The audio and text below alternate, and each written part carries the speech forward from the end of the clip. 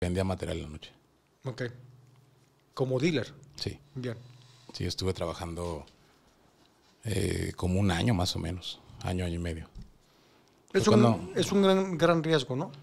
Es el, es el dinero más difícil que hay, carnal. ¿Por qué? Carnal, yo estaba preocupado por vender. Estaba preocupado por la, l- l- los, que de- los que más que venden.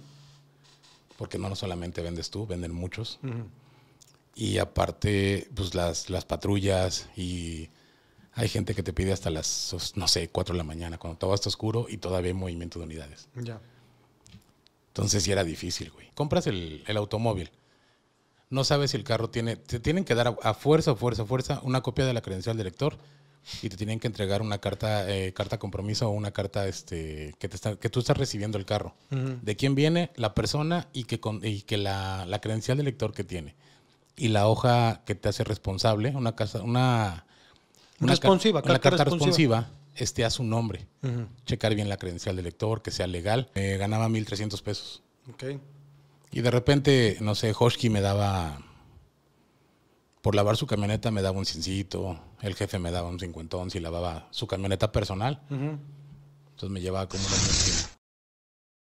Después de que salí del restaurante, del bar, me puse a trabajar con, con un amigo lavando carros ahí en el barrio antiguo y ellos se dedicaban a la venta de, de carros. Entonces yo los lavaba, los pulía, O sea, preparabas el carro. como- Ajá, se dice lo alistaba. preparar. Ajá. Lo alistaba ante alfombras y lavado de, de carrocería y pues lógicamente sacarle sus detalles. ¿No es una friega eso? Uy, estaba bien cabrón porque ¿Sí es me, tocó, me tocó temporada de canícula Ay, y es este estábamos en un lote abierto completamente. Entonces pues sí había lavar, había que lavar, no sé, 10 camionetas, 5 camionetas y dejarlas preparadas porque diariamente se tienen que darles una chaineada. O por lo menos cada tercer día porque la gente va a verlas y estarlas ¿Y cuál, cuál es el proceso de preparar un carro en el caso de... Primero, eh, la, la compra y el regateo. Ya sabes que tienes que comprarlo. Aquí hay mucho coyote, igual que en la Ciudad de México, carnal, que se dedican a la compra y venta de automóviles, ya sea traídos del extranjero o comprados netamente aquí. Al primero que se lo vas a comprar, hay que ver los detalles que tiene el carro, los adeudos que tiene el carro, y de ahí, pues lógicamente, regresar a checar papelería, que esté correcta, que las facturas estén bien, que no sean salvage. eh, que ¿Qué no- es un salvage? los carros de, de Estados Unidos que vienen este, siniestrados, Ok. que no tienen papeles. O si vas a comprar un carro que sea de empresa, checar de qué empresa viene, que la empresa exista y que el carro haya sido finiquitado. Porque hay carros que compra empresa y no terminan de pagarlos. Entonces quedan, tienen papeles, pero tienen adeudo. Entonces no los vas a poder vender nunca. güey. Entonces la banda tiene que estar bien atenta de todo eso, güey. Y tú, te pregunto bien, ¿tú le sabes a todo eso cómo detectar cada cosa? Sí. Sobre todo para, vaya, yo tengo eh, un par de conocidos que se dedican a eso, son bastante legales y me han platicado historias muy de miedo. Entonces, un, un ejemplo que, que vi, me dio mucha tristeza, me platicó que un chavito estudiante trabajaba eh, de mesero, entonces se juntó su lana eh, a través de, de- de tiempos trabajando junto con eh, su mamá. Su mamá le prestó otra lana. El chavito compra el carro y al momento de ir a control vehicular lo aprende la policía porque tenía reporte de robo el chavo. Por no saber comprar. Pues es que tú compras, eh, compras el, el automóvil. No sabes si el carro tiene. Te tienen que dar a, a fuerza, fuerza, fuerza una copia de la credencial del lector y te tienen que entregar una carta, eh, carta compromiso o una carta este, que, te está- que tú estás recibiendo el carro. De quién viene, la persona y que, con- y que la, la credencial del lector que tiene. Y la hoja que te hace responsable, una casa, una. una Responsiva, una carta carta responsiva. responsiva, esté a su nombre Ujú. checar bien la credencial del lector, que sea legal. Y pues es bien difícil, carnal, porque por ejemplo allá en la Ciudad de México, allá en el Bordo, todos los fines de semana hay este venta de automóviles, así como hay un chorro de tianguis de, carros.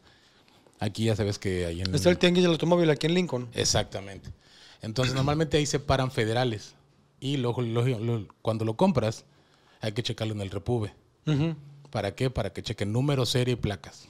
Que no tenga deudos, que no tenga problemas en el, en el- en el transcurso que tú haces de cambio de propietario. Que esos, ese, ese tiempo tengas tú la, la tranquilidad de que el carro no trae pedos.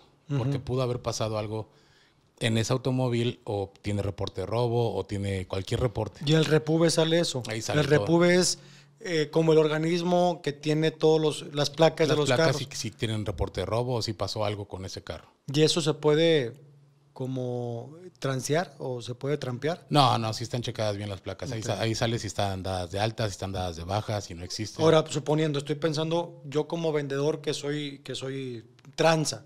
Ajá. Yo tengo un carro y ese carro eh, choqué y yo lo recuperé chocado. Ajá. Le quito las placas y se los pongo a un carro eh, nuevo, a un carro que quiero vender. Eso aparece en el repube si El yo monto- tengo... Sí, no cuadra con el carro, la unidad. Ah, el- perfecto. La placa tiene que venir en la, en la tarjeta de circulación. Y el modelo del carro. Ajá. Bien. El año, el- los códigos vienen bien estipulados ahora.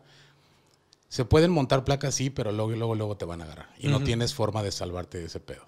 Igual que papeles, se pueden hacer papeles, este, papeles falsos, güey. O de empresa, refacturas en empresa. Pero ¿Eso no- cómo es? como si la empresa lo hubiera comprado para sus trabajadores. Yo soy Bimbo, tú eres mi gerente general Ajá. y como prestación te compro un carro a ti.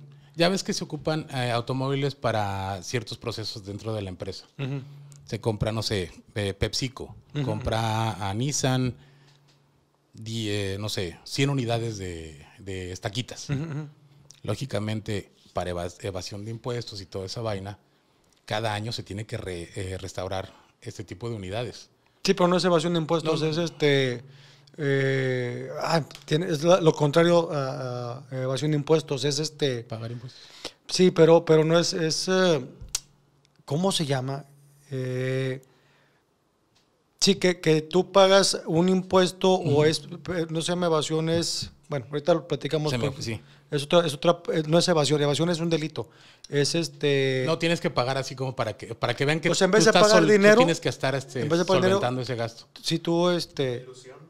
Deducción de impuestos. Deducción sí. de impuestos, Sí, perdón, fui. Para deducir. Deducir impuestos, Entonces- se hace esa compra. se compran otras unidades y esas van, este, salen a la venta. Sí. Lógicamente se ofrecen dentro de la, de la empresa y salen con papeles de la, del- de la empresa, o sea, salieron a Bimbo. Sí. Pero hay veces que tú lo compras y el, papel, el carro no tiene, no se pagó, ¿va? No se le pagó a GM Motors, no se le pagó A a, Nissan, a Nissan, a Ford, ¿va? Entonces, esos son los que tú O sea, hay compras. empresas que no pagan. y, per- y personas que no pagan el carro. O sea, te entregan a ti tu, tu unidad Ya, Va. por- bajo un enganche. bajo un enganche y tú vas pagando mensualidades. De repente te dijiste, güey, ya no lo pagaste, tú lo sigues ocupando. Muchas veces no te lo quitan. Anteriormente no se podía, pues los Chevys no traían nada, güey. El Chevy no traía, no traía este, así una computadora tan, tan perrona. sí, sí. ¿Va? Entonces, hay unos que sí te pagan ahora. O sea, el carro se bloquea y chinflaste a tu flauta. En ese entonces el Chevy, el Suru, todos ellos no se apagaban, carnal. Entonces lo que hacían era reempapelarlos. Los sacaban a una empresa, le sacaban su factura de empresa y se vendía. Pero lógicamente después caía el pedo, Ya. porque no, pueden, no puedes mover esa unidad, porque no se pagó. Entonces, ¿cómo lo hago yo para, yo como comprador, deducir que, que esa... eh, Se marca directamente a la empresa, Bien. a Repube, que el carro esté, esté pagado, que las placas estén bien, no sean montadas, y checar los pins o los DIN. En, la, en el cristal, en la parte de abajo ya ves que hay un código de barras. Ahí viene toda la, o sea, todo lo que tiene tu unidad. En ese, en el alma del carro, en uno de los costados de las puertas, también vienen los números de, De serie del carro. los números de serie. Ya eso todo es en repube. Sí, también salen. Se ¿También- puede hacer también eso. salen? Sí, se perfecto. puede hacer eso. Pero, por ejemplo, el Suru y el Bocho se les puede cambiar el motor. Ah. Creo que el Suru no traía, no me acuerdo si el Suru no traía el número de motor, güey. Bien. Ese normalmente se le elige y se le monta otro. Pero como eran muy eh, ventas muy cabronas, se podía lijar y una persona se los hacía el, el número de serie. A mano. Pero era detectable. Ok. Sí, eran muy pocos los que hacían ese, ese cambio de, de números bien, bien, bien. Ahora, volviendo tú a tu chamba como tal, o sea, había alguien que compraba el carro y decía, aquí, Oscar, está este carro, Ajá. hay que prepararlo. O sea, era quitar asientos. Quitar asientos, quitar el cielo, quitar los tapetes y empezar a limpiarlo desde adentro. Para que, es que ellos sí sacaban las unidades bien, bien, bien. Sí, sí. Primero, lo primordial es checar el carro, ¿qué le falla? Ok, aire acondicionado, checarle el tanque de gas, checarle tirada que tira aceite, hay que ponerle los, este, los plásticos, todo lo que le falte, tolvas, que no, que no quede todo aguado. Ya que, se, ya que lo mandábamos al mecánico, lo mandábamos al, con el chipotero. ¿va? Ya ves que hay muchos que tienen golpecitos. Sí. Y aquí en Sanico hay un chipotero que es muy bueno, carnal. Muy bueno. Pero, Sacar los golpecitos, ¿ah? pero trabaja rudimentario, güey. Él hizo sus propias este, Herramientas. herramientas, güey. Su taller es oscuro, blackout completamente y tiene mamparas y lámparas, güey. Ok. Entonces, cuando los ves a contraluz, sí se ven los golpes. Ya, Ya, ya. no, pues te cobro por cada golpe 50 varo. Bien. Pero hay carros que vienen de siniestro muy. O sea, por ejemplo, las agencias. granizados, por ejemplo. Exactamente. La agencia lo da por perdido, güey. La agencia no lo acepta. Te dice, no, ese es pérdida total. Y este güey los compraba. Bien. Y ese güey los trabajaba. trabajaba muy cabrón. Ya que los pintaba, los regresábamos al taller y ya empezaba yo a limpiarlos. Ya los pulía, los lavaba, lavábamos tapetes y pues lógicamente su aromatizante, comprarle tapetes nuevos, el forro del, del volante, pomos. Si le faltaba estéreo, ponerle un estéreo bonito. ¿Qué es el pomo? El de la palanca. Ah, ok. Entonces ponerle su pomo nuevo, que no estuvieran descuerados, eh, ponerle un estéreo que por lo menos se viera con el carro o conseguir el, el estéreo de sanidad. Porque ya ves que hay muchas empresas, por ejemplo las camionetitas, la Tornado, la Estaquita, eh, la... ¿qué otra? Bueno, las, las que ocupaban así como camionetas para, para panaderías para esa onda, pues sí vienen sin estéreo que ya se lo chiflaron o algo. Entonces les conseguía todo. ¿Y más o menos cuánto percibías tú por semana? ¿O era por carro? No, por semana. Me ganaba 1.300 pesos. Ok. Y de repente, no sé, Hoshki me daba, por lavar su camioneta me daba un cincito, el jefe me daba un cincuentón si lavaba su camioneta personal. Ujú. Entonces me llevaba como unos mil quina. Mil por semana. Ajá. Este, ¿Y cuánto tiempo te dabas en preparar un carro? Un solo carro. Lo más el lavado y eso me aventaba 3, 4 horas. Ok. O sea, aparte había otras cosas. O sea, es que más en lavado y eso. ¿Qué más? Sí, ya que me llegaba al taller, ya que regresaba al taller, me tardaba unas 3 horas en dejarlo listo. O sea, que te echabas a lo mejor unos tres carros por dos, día. dos o tres carros por día. Oh, Sí, por mm, 1.300 pesos. Por mil tres. ¿Y si la viste medio dura? O, Bastante cabrón hasta que... Bueno, estuvieron mucho tiempo, estuve con ellos trabajando hasta que te volví a ver, güey. Desde el día que, de, del día que, que- del- de que me salí, entré al otro día a trabajar. Ok, así rápido. Ajá. Y de ahí regresé hasta que te volví a ver, güey. Todos unos seis meses más o menos o más. O más. Y de ahí, pues los, los fines de semana, ya ves que me, me casé. Entonces decidimos poner, vender barbacoa y menudo. Entonces vendíamos ahí en este, afuera de la casa. Empezamos a vender el menudo y la barbacoa, que nos iba muy bien, gracias a Dios. Pero llegó el pedo de, ya sabes, el, de- el que duró dos años. Sí, la Y ya pandemia. no me permitieron vender afuera de la casa. Y Ya. también la dueña me dijo, ¿sabes qué? Te estoy rentando la casa como hogar, no para negocio. Entonces hubo pedote. Y pues de ahí ya tuve que dejarlo. Y otra vez empezaron los... Empezó a Si bajar. tú ganabas 1.300 pesos por semana en los carros, ¿cuánto ganabas tú vendiendo barbacoa el fin de semana? Eh, eh, ya, ya después de gastos.